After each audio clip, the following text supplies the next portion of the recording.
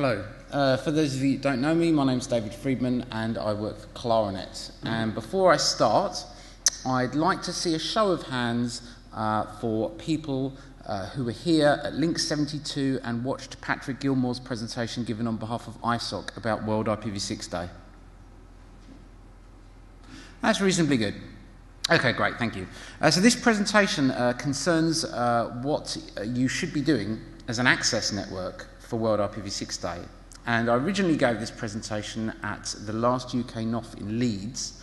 Um, and this is another version of it given uh, at the RIPE meeting, which I gave with a number of other people, uh, including, uh, it, it, followed the ISOC, official ISOC presentation.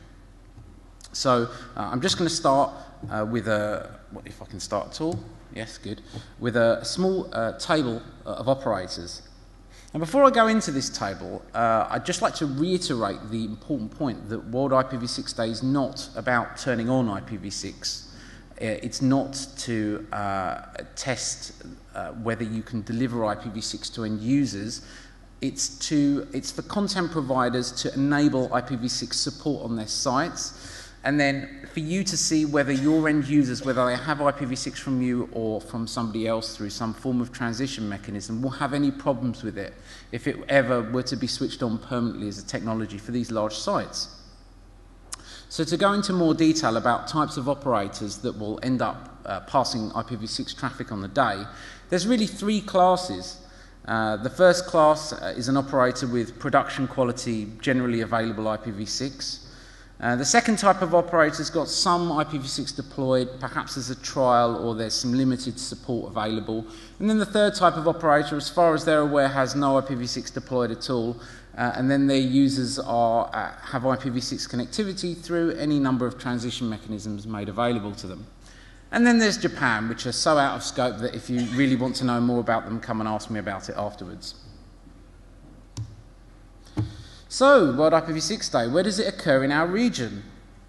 Well, it's a working day and it's from uh, 0100 hours until 23.59 UTC.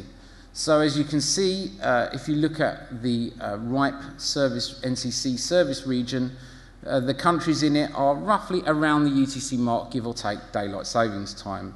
So the course of World IPv6 Day very much follows a day in our region. So the first thing you have to ask yourself is about your company. If you're an access provider, is what's your user mix? Are you mainly residential? Are you mainly business, or both? And what will your users care about during the day, and what will their day look like, and how will they experience their brokenness? So if you think about the, the, the journey of an average day of uh, a citizen of the United Kingdom, uh, they'll, as an internet user, what's the average person going to do? When they get up in the morning, it's a work day, right? World IPv6 days are Wednesdays, so they're going to get up and they may use the internet from a smartphone, uh, but ultimately they're going to go to work.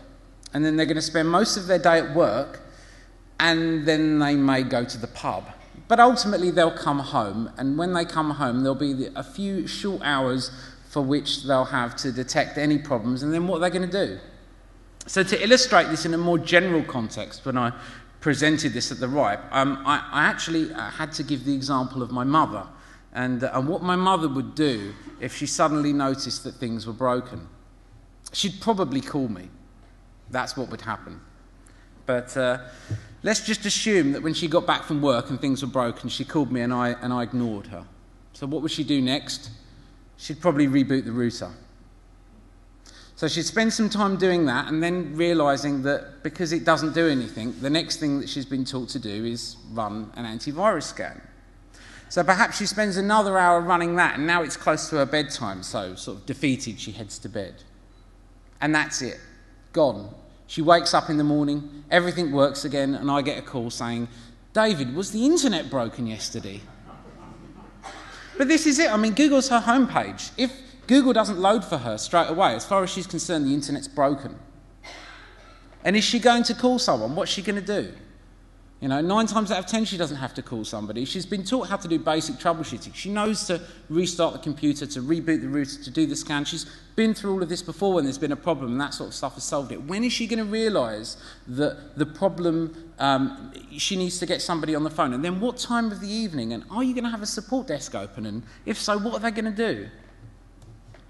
So, how will they be broken? What types of brokenness are we going to see? Well, there's really two main types. Uh, we divide those into what we call fake connectivity and bad connectivity. And fake connectivity is where uh, you get an IPv6 address from something that doesn't actually have IPv6 routing. Um, and then when you get the quad A from the site that's presenting it, you, you, uh, you try and connect to it, and of course you can't because it has no connectivity, and then you need to wait for it to time out, right, so the page hangs. And then you've got the bad connectivity where assuming uh, you've got some connectivity and you, you follow, you make a TCP connection to the, to the v6 address at the end of the quad A, then that connectivity is bad because you've got some bad tunneling or the tunnel's filtered or it's rate limited or you know, there's MTU issues on it. And then you, you'll get an inconsistent experience. You'll get maybe a page load, but some of the images are broken. But ultimately, the overall experience you get is that, is that there's breakage. So, how do you remedy this? Well, there are a number of ways, and I'd like to start with the most important one, which is to do with documentation and process, which I'll come on to in a minute. So, documentation, having, having this well documented, because when you get these calls, you, you're going to need something to refer to. People are going to need to know in your organisation that this is occurring. People are going to need to know outside of your organisation that this is occurring, specifically your customers. If you don't have a process written and documented for the day, what are you going to do? How are you going to approach these calls? How are you going to distinguish between all the different types of brokenness and what you need to do to support the user if you end up supporting the user at all? And with that documentation also comes publicity. The more you can publicise this internally, the less escalations you'll end up getting during the day when people don't know what to do. And the more you publicise it externally, the less calls you'll actually end up getting because users would have checked themselves and they would have fixed themselves and done everything that they could as to not have a problem for the day.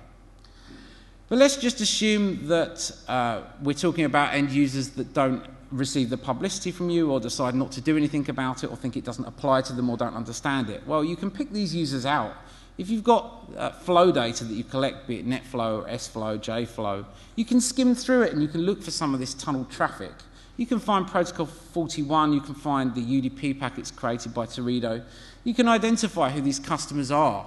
Perhaps you could do some more targeted mail shots or calls to them if you really want. Also, if they're going to be using tunnels, uh, they're going to be using relays, and unless you're running the relays yourselves, which you know only uh, really helps you in, in, for one direction of the traffic with six to four, for example, which is the outbound, uh, then uh, you'll find that this traffic gets relayed through all sorts of places in the world. Have you trace routed to one of these Anycast addresses? I think there's perhaps one or two relays in the UK and, uh, and I think uh, one of the LINX members here runs them. And I think you find if you trace route to the Anycast address, most of your traffic will, will be going to his relay. So uh, perhaps best to find out where that traffic's going to be going on the day. Talking about support, uh, if you know you're going to get these calls in the day, uh, a triage process is really important. Uh, and in fact, you can use your PBX to help you. And I'll, I'll show you this on the next slide. I've got an example process flow. If you uh, ring fence some members of, uh, of your support team for the day and you triage uh, World v6 day faults into this team, uh, this team are going to be at the forefront of the knowledge and, and of the complaints and hopefully are going to be able to take the user through the process relatively rapidly uh, and keep your uh, support uh, desk free to get on with its normal day-to-day -day work. And finally, uh, collating uh, vendor knowledge base articles, screenshots, procedures, how to upgrade, how to disable tunneling support. There's this uh, great Microsoft knowledge base article that, uh, that contains uh, this Fixit uh, service, which is basically an executable uh, that you can click on from the, from the knowledge base article that gets downloaded to the user's computer and actually makes the registry changes on their Windows machine or on your behalf so that you don't have to get them to go and fiddle around with a number of different controls. And this is directly linked to from the knowledge base article. You can, you can click on disable IPv6 tunneling support and it, it downloads the executable and off it goes. So I thought I'd give you a, uh, a flowchart that we're going to be using uh, for the support process on the day. And the way it starts is before the day, we're going to start with uh, music on hold. So at the moment, when users call in, uh, they get a recorded message and they get some music saying, welcome to Claranet, uh, please wait while we take you to a menu system or whatever it is that happens. And uh, a few days or maybe weeks before the day, we're going to start injecting uh, a message into this music on hold saying that this day is coming up and uh, be prepared for it and visit our website for more information. And then on the day, the music on hold is going to change to um, telling people that if you're having any problems today, this is like the cause of it, and uh, you'll be able to select an item from go to the website to get more information if you can. Uh, the website will be set up so that users won't have problems accessing it in order to get the information. But importantly when they get through to the IVR they'll be able to press a number straight away to get straight through to the triage team uh, to be triaged to go straight through to the V6 day team if that's actually the issue. Uh, so the message will say something along the lines of, if you're having problems today accessing popular websites uh, and, and this, uh, this is new to you or this is just happening today, then it may be a problem with World V6 Day. Press 1 uh, to speak to a team who might be able to help you. And then they'll get transferred to this team, um, and similarly, any other support calls uh, that come into normal team that triaged out can be triaged back in uh, when they're identified as V6 day problems, so they'll be pushed to this particular team. And then we'll take people through the troubleshooting process. Use testipv6.com, what does it say? Uh, use ipv4.google.com, what does it do? Um, and then the general process will be upgrade your operating system browser, upgrade your uh, DSL router if need be, because possibly it's using settings which are old, which encourage tunneling when they shouldn't, or perhaps it's a, a DNS preference issue. Uh, and then finally, if we're not able to solve the problem, uh, we're going to advise them to disable the uh, V6 transition mechanisms and not the V6 itself, because that would be counterproductive later on when they actually formally request V6 from us.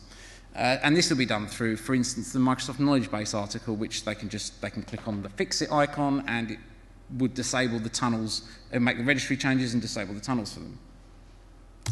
So to summarise, um, don't bury your head in the sand. As an access provider, regardless of your size or how IPv6 mature you are, your users are likely to have issues. And have a plan, uh, because having a plan is better than not having a plan. And tell your users in advance and have them prepared. Have them mark the date in their diaries. Have them check themselves because this will mean less calls for you on the day. And don't forget about your dependents. Don't forget about the people that depend on your services, for example, resellers. They may run their own support desks but depend on your infrastructure. How are you going to help their support desks help their customers? Are you going to expect them to punt all of the customer calls to you? Help them out because they'll really appreciate this. And uh, it's unlikely you can sit back and relax. Since I gave this presentation, uh, one of the large names that are participating in V6 Day uh, trialled uh, quietly the technology and had their own V6 hour. And uh, whilst they should remain nameless, I can say that they didn't experience any problems. Uh, they didn't have an unusual amount of user complaints, and they didn't see anything which suggested that there would be serious problems when they went for the day. Well, the question slide's gone missing, so if you have any questions, now's the time to ask.